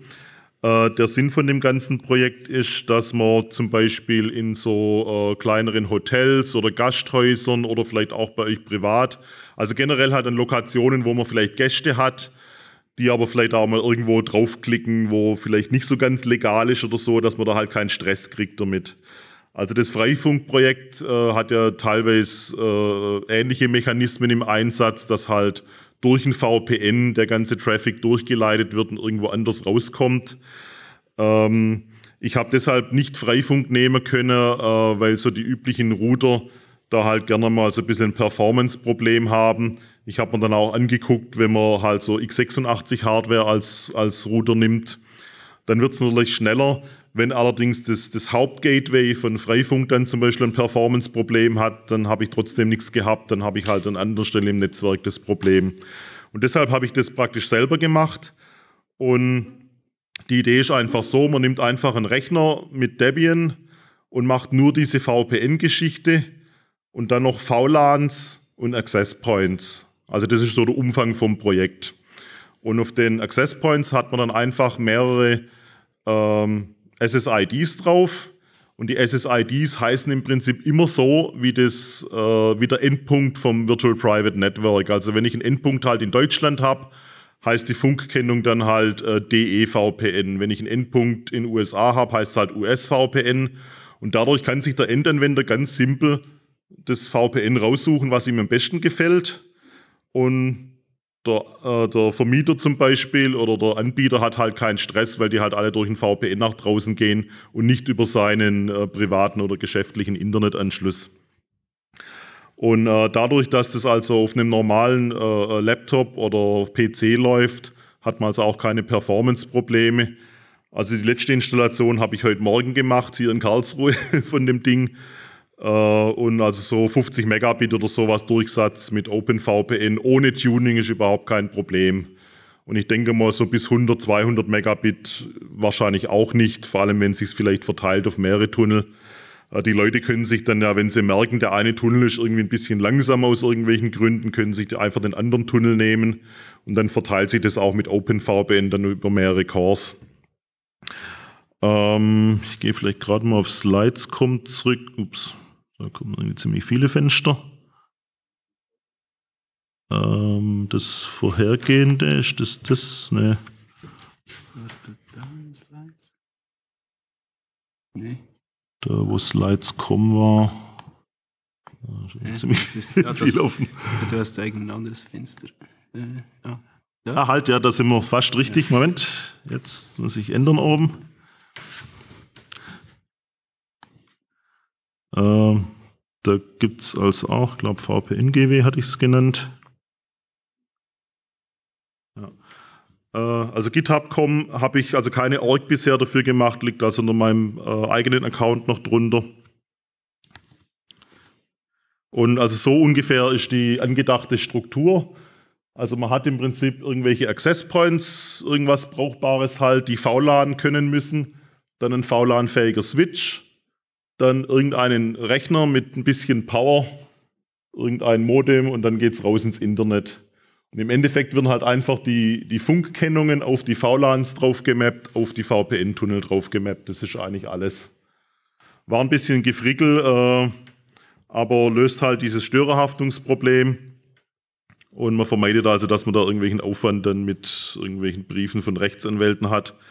Auch ein Vorteil im Vergleich zu Freifunk ist, ich kann mir durch meinen VPN-Anbieter raussuchen. Ich muss jetzt nicht irgendwie mich äh, mit dem zufrieden geben, was mir Freifunk gerade bietet. Äh, ich kann mir irgendwo ein VPN kaufen und wenn das nichts taugt, kaufe ich halt dann ein anderes. Ja. Ähm, ich habe auch mehrere VPN-Tunnel gleichzeitig. Ich weiß nicht, ob das im Freifunk irgendwie vorgesehen ist. Äh, ich kann mehrere Provider auch gleichzeitig benutzen, habe ein bisschen Redundanz. Und halt das mit diesen verschiedenen Ländern habe ich halt auch selber unter Kontrolle. Äh, so als Beispiel, was man als Hardware nehmen kann, einfach so ein kleines ThinkPad. Das Nette ist, die CPU, wenn da so eine i5-CPU drin ist, die kein AES in Hardware ist, also auch schön schnell und kräftiger Durchsatz. Ich habe auch kein Problem mit dem RAM im Router. Also wenn ich da jetzt zum Beispiel für Unifi noch diese Java-Controller-Software gleichzeitig drauf laufen lassen will, ist auch kein Problem. Der hat halt zwei oder vier Gigabyte RAM oder so drin. Äh, Interface muss ich halt, ich habe nur eins üblicherweise im Laptop, muss ich halt eins über USB machen, aber mit USB 3 oder so ist das auch ziemlich schnell. Und insbesondere, wenn es ein Laptop ist, kann ich den Laptop-Akku als USV nehmen, dass wenn irgendwie mal Stromausfall ist, halt, dass das Ding nicht runterknallt, sondern dass er sich halt nach zwei Minuten automatisch runterfährt. Und wenn der Strom halt wieder kommt, sich auch automatisch wieder einschaltet. Also das ist ganz nett, wenn man einen Laptop verwendet. Äh, Komponenten, Debian, OpenVPN, IP-Tables, Ferm und IP-Root. Äh, das VLAN-Tool, ein eigener DHCP, ein eigener DNS. Dann halt, dass sich das Ding mit Unattended Updates halt automatisch updatet. Und für Fernwartung halt ein SSH und ein, ein DNS-Updater drauf. Äh, bei LAN eigentlich nichts Besonderes, muss halt VLAN können, äh, dass ich das so ein bisschen auseinanderhalten kann. Insbesondere, wenn ich auch unabhängig vom WLAN jetzt äh, LAN-Buchsen anbieten will, wo die LAN-Buchse quasi direkt in dem VPN endet. Äh, Im Repo liegt übrigens parallel zu dieser äh, Ubiquiti-Konfiguration auch noch was mit TP-Link. Ich hatte ähm, beim ersten Versuch parallel das auch auf TP-Link implementiert, habe aber später dann doch die etwas hochwertigere Hardware dann genommen. Und da habe ich zum Beispiel das so gemacht, dass der TP-Link-Router sowohl also diese mehreren WLANs dann abstrahlt, als auch, dass die verschiedenen Buchsen hinten, wo normalerweise alles gleichbedeutend LAN ist, dass praktisch bei jeder Buchse hinten an dem Router ein anderes VPN stöpselbar ist mit Kabel.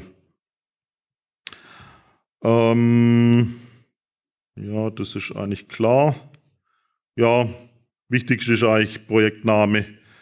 Und äh, wie gesagt, besteht primär aufs Configs, aber ihr könnt fast jede Config einfach rüberkopieren, wenn ihr also Debian Jesse verwendet, passt es eins zu eins. Jo, ich glaube, ich wäre soweit durch. Dazu Fragen, Anmerkungen?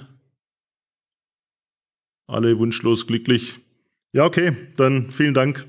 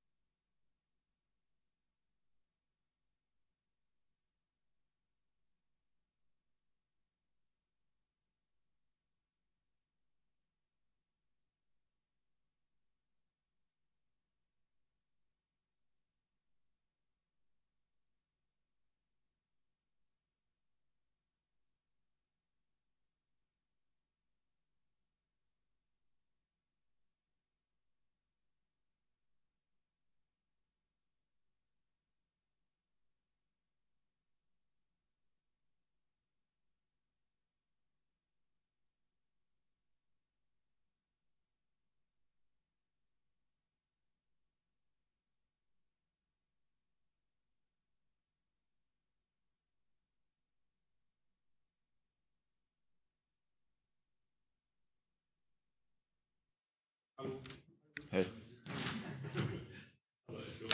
Echo. Test, Test. Funktioniert? Okay, cool. Also jetzt, heute ist nur ganz ein kurzer Vortrag. Ich, ich rede nur kurz über Mapping von Systemen und ich nehme als Beispiel die Harmonik von der Musik, weil das ein, ein, ein relativ einfaches System ist. Und ich werde ein paar Gedanken darüber sagen. Schauen wir mal, wo sind wir hier?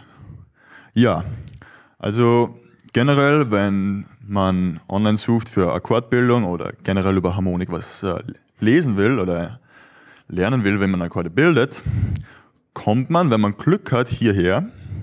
Das ist Musiktheorie.net, das ist eines der größten Datenbanken für das. Und dann kann man sich durchlesen ja, und schauen, ja, AC so, ne, so, so. Und ein Problem, das ich damit hätte, wäre, dass man Schrift als ein sequenziales Medium nimmt, um etwas zu beschreiben, das eigentlich komplett parallel passiert und man eigentlich sehen sollte, was geht und selbst eigentlich ich mit dem Keyboard dastehe und interagiere anstatt direkt mit dem Instrument. Ja. Also schon mal zwei Layers of Abstraction, die ich dann nicht haben will. Jetzt habe ich mich ein bisschen gespielt und habe versucht, das halt gescheit zu mappen, so dass jemand, der Akkorde lernen will oder generell Musiktheorie, das per Inferenz machen kann und nicht zuerst äh, die Hypothese und dann äh, irgendwann mal das wieder vergisst. So, schauen wir mal hier. Schauen wir mal, ob das geht mit Sound. Ah ja, sollte gehen. Okay. Ja, mache ich jetzt mal kurz eine Demo, damit ich das zeige. So, es zeigt mir hier zum Beispiel, dass das ein C war. Ja. Das war ein C Augmented, ja. G sharp, C minor, C major 7, A minor 7. Na, und jetzt brauche ich gar nichts lesen, ich brauche gar nichts wissen. Ich kann der größte Trottel auf der Welt sein und ich kann sehen, dass das von zwei Unterschied zu vier Unterschied, äh, von zu eine drei Semitöne und dann vier Semitöne, das ist quasi minor. Und vier Semitöne und dann drei Semitöne, das ist Major. Das kann jeder, der zählen kann, kann das sofort sehen, muss nichts lesen können. Und da ist wichtig natürlich, dass du ein Mapping hast und dass du weißt äh, und dass du spielend das entdecken kannst. So, das ist ein Beispiel. Das nächste wäre, wie man dann die Musik dann wirklich sehen kann, wenn man selbst dann einen Pitch Detection Algorithmus oder sowas bilden will. Und hier habe ich ein Beispiel des Audacity Spektrogramm, was halbwegs okay wäre, wenn man theoretisch äh, diese Audiodaten so auswerten will, um was anderes als einen, einen uh, Pitch Detection Algorithmus zu schreiben oder Noise Reduction. Aber wenn man jetzt eigentlich die Musik sehen will, ja, was eigentlich das Ziel sein sollte für die meisten Anwendungen, dann muss man das ein bisschen ummappen. Ja. Erst einmal muss man dieses äh, exponentielle System von der, von der wie, viel, wie Frequenzen auf das Ohr wirken, also jede Oktave verdoppelt sich die Frequenz. Das muss man erst einmal eine logarithmische Funktion drüber hauen, damit das mal linearisiert wird, ja, ist logisch. Und dann ähm, muss man so äh, visualisieren, dass die Abstände so sind, dass es Notenabstände sind und nicht Frequenzabstände. Ne? Und da habe ich auch eine kleine äh, Demo. Aber jetzt muss ich mal was anstecken hier. Ob das hinhat. Ist hier, sind hier Musiker in der, Ding, in der Audience? Keiner? Echt jetzt? Ohne Scheiß? Nur Konsumenten. Ja, ich meine, die Motivation hinter dieser ganzen Musikgeschichte, ich spiele ja selbst nicht Musik, das ist ja das Problem. Ich spiele diese Tools quasi, damit ich in die Musik reinkommen kann, ohne dass ich irgendwelche Artikel lesen muss von irgendwelchen äh, automatisierten Personen. Und der Hauptgrund, wieso ich das mache, ist, wenn man auf Spotify geht, ja, und dann wird das Problem sehr offensichtlich, wenn man in zum Beispiel geht The Charts, ja. Und dann hört man sich das an und wenn man Ohren hat und ein halbwegs, eine halbwegs sensible Seele, dann weiß man sofort, dass der Status der heutigen Popkultur nichts ist. Also das ist quasi Schwachsinn, ja. Also ich kann jetzt da Rihanna oder sowas spielen, aber ich glaube, ihr wisst alle, wovon ich rede. Und es ist mir schon ein Anliegen, dass diese Tools helfen, Leuten in die Musik reinzukommen, auch wenn sie jetzt keine Lehrer haben. Ja. Zum Beispiel in meinem Fall war es halt dann so, dass ich dreimal Musikinstrumente angefangen habe und ein paar Wochen, Monate, nachdem ich einen Lehrer gehabt habe, sind die immer unglücklicherweise äh, schwanger geworden. Ja. Und das war das Problem. Ja. Jetzt habe ich da immer aufgehört und der nächste war dann halt irgendein, den ich nicht gemocht habe. Ja. Und so ist es bei mir passiert, dass ich eben das nicht gemacht habe. Ja. Dafür programmiere ich jetzt ein bisschen. Ne. So, jetzt schauen wir uns das an. So, wir wollen jetzt, das Ziel ist jetzt, wir wollen die Musik sehen. Ja. Wir wollen sie live sehen, wir wollen sie manipulieren können und wir wollen checken. Ja, geht das? Wir wollen checken, was los ist. Ne? Okay, das sollte gehen. Alright. So, jetzt habe ich einen polyphonischen Pitch Detector geschrieben, ja. Und da kannst du reinzoomen und rauszoomen du kannst sehen, was die Musik, was, was geht ab, ja. Okay. Jetzt kann man natürlich schauen, ja. Du siehst sofort, dass es Obertöne gibt. Was ist ein Oberton? Keine Ahnung, aber es ist einfach das Ding, dass zwei Fs sind. So, ich würde mal annehmen, F zu F, eine Oktave danach ist ein Oberton. Brauche ich nie darüber lesen. Ja. FA, okay. A hat einen geringeren Oberton, das muss irgendeinen Grund haben. Dann kann ich nachher nachlesen und dann check ich's. Dann spiele ich alle drei, ja. Oder. Und er sagt mir, es ist ein F, ja. Dann spiele ich ein F Minor. Sagt mir, es ist ein F Minor.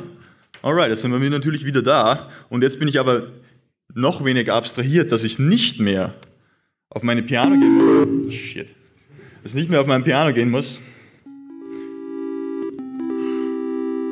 was mich eigentlich weg vom Instrument abstrahiert. Ja, ich sehe zwar, was los ist, ja, aber hier bin ich am Instrument. Das heißt, ich bin in voller Action. Ja, und ich kann auch sehen, dass der Unterschied zwischen, jetzt muss ich wieder lauter drehen, der Unterschied zwischen Piano, ah, klar, ich kann sehen, dass meine Stimme doppelt so viele äh, Energie hat, aber ein bisschen aufgefächert ist. Ja. Jetzt weiß ich natürlich, dass es ein bisschen voller klingt, weil, das, weil die Fläche ein bisschen mehr ist. Ja? Und wenn jetzt jemand sagt zu mir im Musikunterricht, ja, diese, dieses Horn klingt voller als das andere Horn, dann habe ich eine Visualisierung, wo ich weiß, was geht. Okay, jetzt versuchen wir noch was. Ja?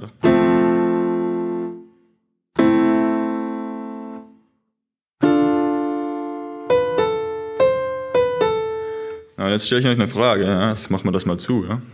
Jetzt, jetzt haben wir ein Problem des Gedächtnisses, wenn man diesen, nicht diese Tools hat. Wenn ich euch jetzt sage, jetzt frage ich euch, war der erste Ton dasselbe als der letzte?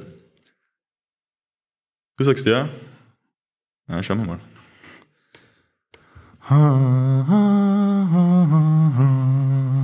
Ja, ungefähr, du hast recht.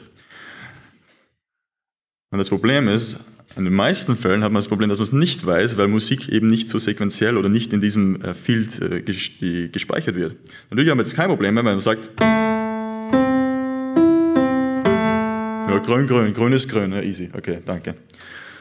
Nun hat man das Problem aber, und jetzt kann man dieses benutzen, ja, und jetzt zurück zu, äh, was Niklas vor mir gesagt hat, ist Stack Overflow wenn man jetzt Musik als Code nimmt und Stack Overflow als, als quasi die, die Lösung von dem Problem, das nicht mit Logik infer, inferierbar ist, dann ist das das Äquivalent in Musik, wenn man einfach geht zum Note-Sheet und schaut, was die Noten sind. Ja? Weil wenn ich jetzt einen guten Song habe, schauen wir mal, was ist ein guter Song?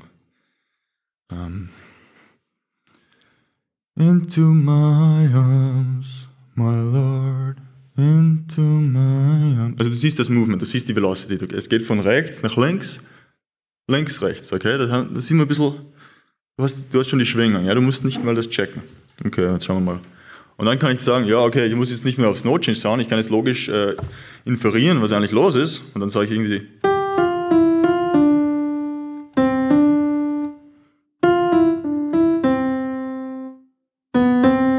Easy, ja. Und ich spiele ja nicht mal Klavier, ich benutze das nur zum Debuggen, ja. Ich habe keine Ahnung, was ich mache. Es ist einfach komplett sichtbar, da ist keine Störung. Ja.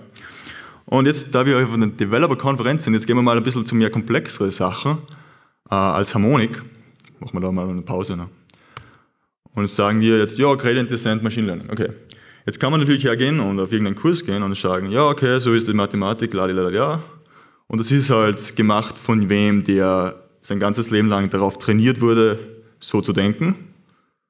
Und in den wurden mehrere äh, sehr viel Geld investiert, damit er nur so denkt und halt irgendwo äh, produktiv sein kann. Aber du kannst dasselbe auch so machen und sagen, ja, hey, schau her, mein Freund, du startest irgendwo, ja, und da ist die Solution, das Ziel, ja, und wenn du da startest, dann startest du hier, ja. Und was passiert, wenn man die Stepset hoch macht? Ja, dann kommst du hinten her. Und das Problem hier ist, ja, hier, schau mal. So, das ist eine, Step Size zu groß macht, kann es nämlich manchmal sein, dass Gradient Descent nicht funktioniert, weil er von einem Lokalminimum aufs nächste springt und dann von dort sich nicht mehr auskennt. Ja? Und das kann man sofort sehen. Und mehrere Konzepte können sofort klar werden. Ja? Das ist jetzt nur ein Beispiel für das. Ja? Und das war eben taking this ja? und bringen es, das Konzept woanders hinbringen. Ja? Genauso wie Logarithmen. Was ist der Use von Logarithmen? Ja, kann man auch woanders hinbringen. Und das sind so meine Projekte zurzeit im Bereich der Musikpädagogik, äh, äh, aber sehr selbst, also sehr egoistisch motiviert natürlich. Okay, das war's von mir auf meiner Seite. Wenn es noch Fragen gibt, dann kann ich die gerne annehmen jetzt. Danke.